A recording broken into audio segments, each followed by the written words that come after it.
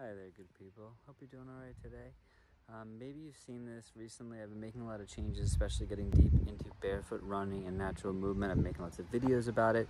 Going barefoot has completely changed my life. I ran a marathon barefoot. I've been taking people on barefoot hikes. I'm just, it's hard to explain how incredible it is until you really start to get into that vibe. So I decided to write a book.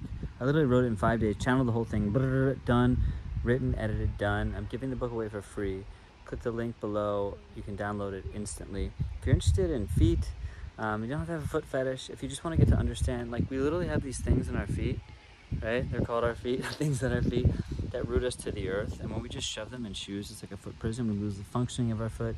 We get completely disconnected from the earth. So I'm not saying you need to go barefoot or it's right for everybody, but just getting to develop a deeper relationship to your feet is amazing. So the book is all about that. Check it out. And uh, yeah, I'm really excited to you know, like life just kind of flows through me. I don't always know why I do things. When I got into cooking, it just, the universe is like, hey, you could help a lot of people. You can inspire people to get excited about cooking. And music is the same thing. And now being barefoot. And it's not even really about being barefoot so much as taking a look at the things that maybe were holding you back. And when you strip away all the stuff, what comes through is amazing. So taking my shoes off just has been an absolute life changer. Not to mention the grounding principles, just putting your feet in the ground and releasing energy um, yeah, so check the book out, link in the bio, and uh, talk soon.